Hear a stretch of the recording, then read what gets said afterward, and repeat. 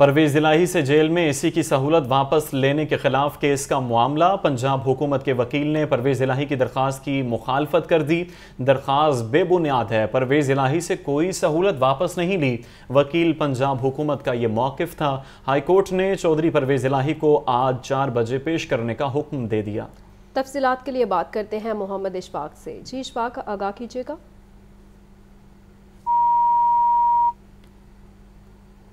इशफाक से रबता बहाल करने की कोशिश करेंगे, आपको अपडेट कर रहे हैं। परवेज़ इलाही से जेल में एसी की सहूलत वापस लेने के खिलाफ केस का ये मामला है।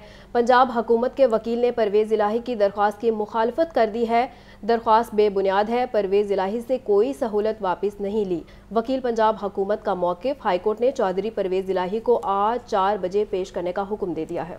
आज चार बजे पेश करने का हुक्म दिया गया है। आपको बता रहे कि परवेज इलाही से जेल में इसी की सहूलत वापस लेने के खिलाफ ये केस का मामला है और अदालत में आज इस केस की समात हुई और दरख्वास्त खारिज कर दी गई है। और आपको बताएँ कि हाई कोर्ट ने चौधरी परवेज इलाही को आज चार बजे पेश करने का भी हुक्म जारी कर रखा है। आपको बताने परवेज इलाही से, जेल में इसी की सहूलत वापस लेने के खिलाफ केस का ये मामला है।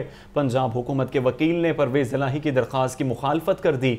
दरख्वास्त बेबुनियाद है परवेज इलाही से कोई सहूलत वापस नहीं ली। वकील पंजाब हुकूमत का ये मौकफ था। हाईकोर्ट ने चौधरी परवेज इलाही को आज चार बजे पेश करने का हुक्म जारी कर दिया। हाईकोर्ट ने चौधरी परवेज इलाही को आज चार बजे पेश करने का हुक्म दे दिया है। परवेज इलाही से जेल में एसी की सहूलत वापस लेने के खिलाफ केस का ये मामला है।